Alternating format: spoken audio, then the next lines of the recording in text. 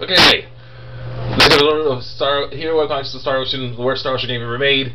Not the worst game ever made, but worst Star Ocean game ever made. But they do way better than this. Uh, yeah.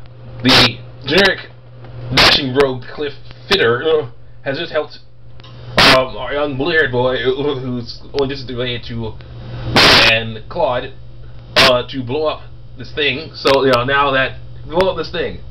Nor, yeah, they've only obviously got Norton out, or or they, or they were forced to kill him. So either way, you know, either way, now let's go.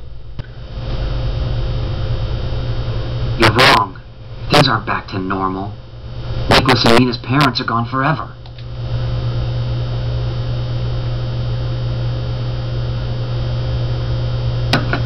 Like, whatever. like, well, nothing you can do about that. Let's just go. As they should have said. Let's get out of here. No, no. Yeah, this way, this way. Well, I will avoid as many fights as possible.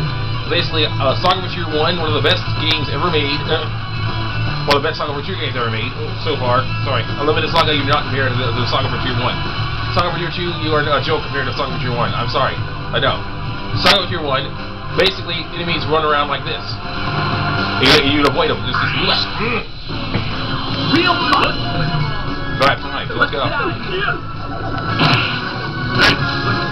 don't have time for this right now. I gotta get to the next cutscene. Mm.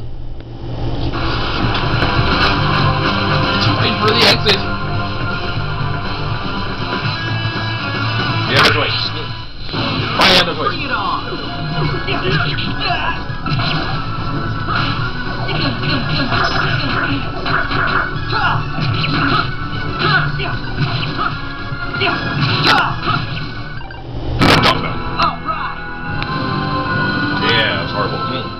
Let's see you next time